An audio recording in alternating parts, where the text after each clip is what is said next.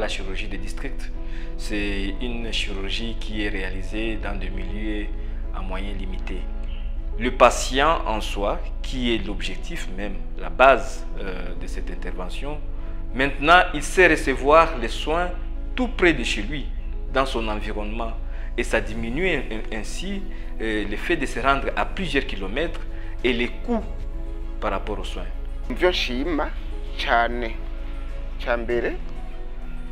Uburyo banyakiriye. Icya kabiri barumviriza. Mu minsi ya mbere na mbere sinashobora gutambuka sinashobora kwicara kubera uburwayi bwari buri ahantu eh, kure rwose. Kure rwose mu kwicarira yego ubu rero ndumva mfise mitende yego niko yarambiyeho hari utuntu tutarakira neza mugabo tutambuza kugenda. Actuellement, si on compare avec la période d'avant, il n'y a pas beaucoup de cas qui attendent l'opération parce que on essaie de programmer les interventions régulièrement. Et par exemple, ici, j'ai trois cas pour le moment qui attendent.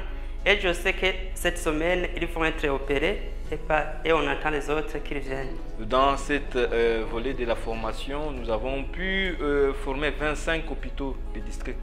Et pour notre consortium MEMISA, il y avait quatre hôpitaux qui ont été concernés par cette formation, dont l'hôpital de Muyinga, l'hôpital de Giterani, l'hôpital de Bubanza et l'hôpital de, euh, de Buhiga.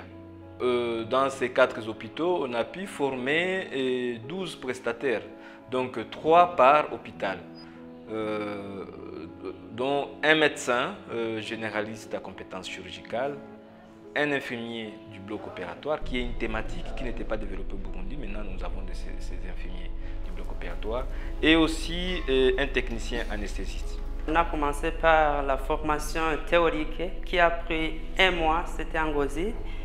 Et puis, on a continué après la formation théorique avec la formation pratique qui a duré six mois ici à l'hôpital district de Muyinga. Il y a eu deux domaines gynéco-obstétriques, il y a eu deux domaines d'urologie et avec la chirurgie de base. Dans le cadre de cette intervention, nous avons réalisé eh, des réhabilitations dans les quatre hôpitaux concernés eh, par euh, cette formation de chirurgie de base.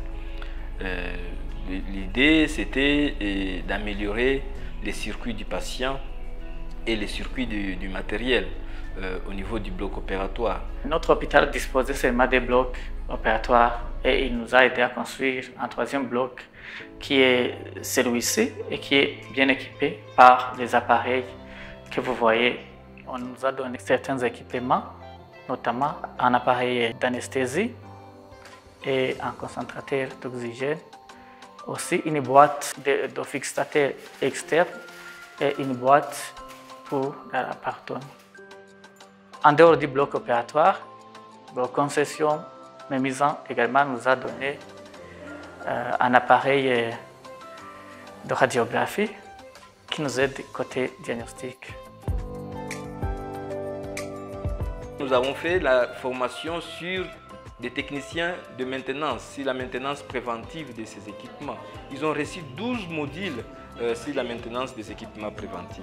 Parce qu'on a remarqué qu'une fois on donne des équipements, après ils tombent en panne rapidement.